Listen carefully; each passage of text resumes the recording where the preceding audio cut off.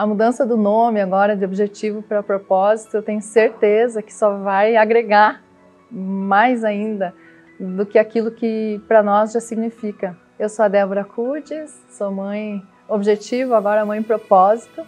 É uma escola que a gente ama por ela ser acolhedora. É, inclusive, quando chegamos em Teresina, eu conheci outras escolas, tive a oportunidade de colocar minhas filhas em outra escola e elas não tiveram a mesma é, acolhida em outro lugar e não se sentiram bem. Então a gente conheceu essa escola, uma mudança radical na vida escolar delas, emocional, porque a gente chegando de fora, de um outro estado, é, a gente costuma também falar da importância que a escola traz o tempo de, do âncora, que é um programa que diferenciado e eu não vi em nenhuma outra escola ainda e eu acho muito importante, fundamental, porque ele fala sobre a parte espiritual.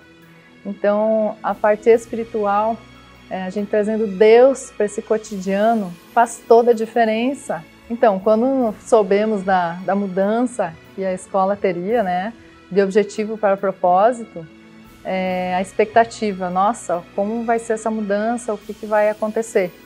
Mas foi uma mudança positiva na vida das minhas filhas também, porque elas mesmas já entendem que só vai melhorar. Então é uma escola que a gente ama, que a gente tem alegria em falar, não é, um, é uma coisa espontânea, tanto minha como de toda a minha família.